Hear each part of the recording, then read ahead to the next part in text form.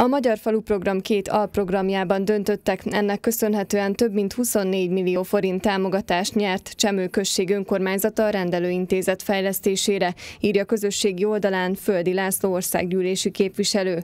A beruházás során a központi orvosi rendelő épület részének tetőcseréje és energetikai korszerűsítését végzik el. Orvosi eszközök beszerzésére új szilvás, köröstetétlen, nyársapát, törtel, kocsér községek önkormányzata önkormányzatai közel 3-3 millió forint támogatást nyertek.